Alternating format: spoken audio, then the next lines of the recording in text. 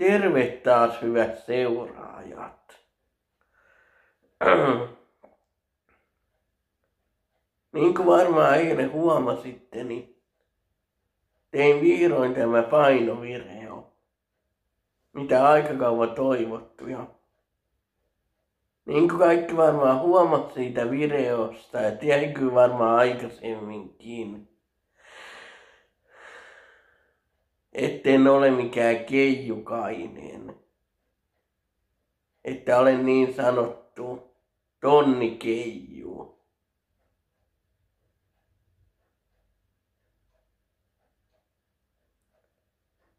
Ja sitten tuli kommentti, kuinka paljon hän painaa, minkä vitunen on. Ja... Sanoisin tähän sillä tavalla, että ole onnellinen Mulla on ollut pienessä asti jo ylipainoa. Ja sitten kun hitaa tullut isommat, niin hitaa tullut enemmän sitä ylipainoa. Kyllähän se jokainen tietää, että se on niin vähän epäterveellistä se, että on ylipainoa. Sitä varsin varmasti lääkärikin sitä sanoo, että hyvä olisi vähän saa sitä painoa pois. Ja sitten vaikka sillä pikkuhiljaa tehdä jotakin muutoksia. Et, ettei ole tarkoitus sillä kovalla ryhtinällä, vaan pikkuhiljaa tekellä pieniä muutoksia. Koska siinä on sitten se niin kuin, riskinä, niin kuin lääkärikin on sanonut, että sitten kun kuluu vuosi eteenpäin, niin on paljon mahdollista että jotain sairauksia tulee siis painosta johtuen, mutta sellainen juttu tässä vielä olisi tietysti, että on siellä kommentti helppo heittää illalla, millain laistuu. Kyllä mä uskon, että jokainen tietää, mutta se on sellainen juttu, että silloin kun sä laihdutat, niin siinä pitää kanssa pysyä, pitää ruokavalio sellainen. Ja siis siinä on se juttu, että kun se ei ole mun niinku tällainen niinku, niin kuin on sanonutkin, että ainoa ongelma.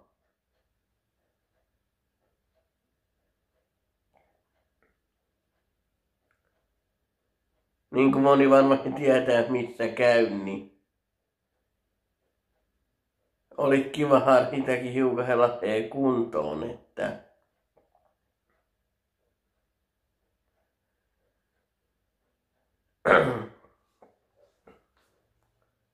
niin kuin tietyt asiat.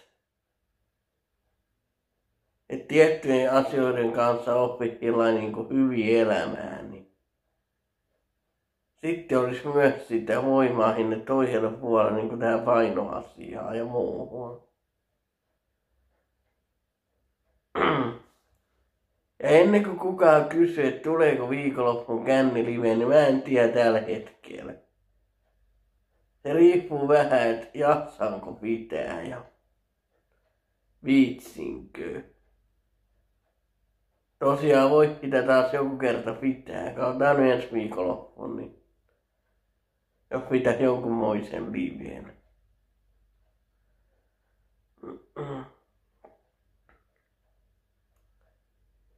Ja katsotaan joku kerta edes City jos tulisi ja näin.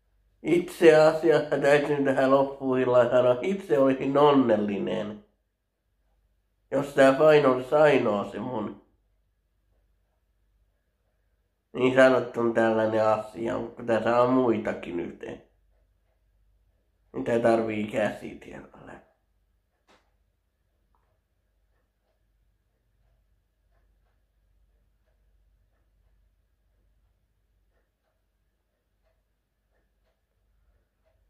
Se on ihan eri juttu se, kun sä soitat ton ja kysyt yleisesti, niin sä et tehinähän paljon saa puheenvuoroa, mutta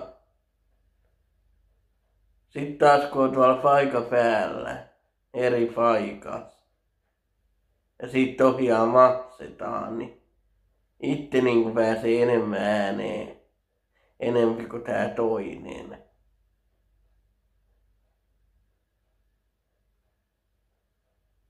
Tämä toinen paikka siis, mihin voi soitella, niin on ilmainen, mutta tämä toinen ei ole.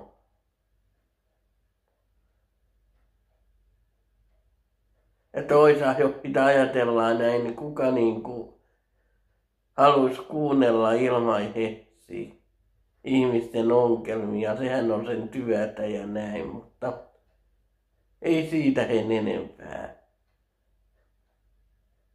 Nähdään sitten taas jossain vaiheessa uuden virjan parissa. Moi moi!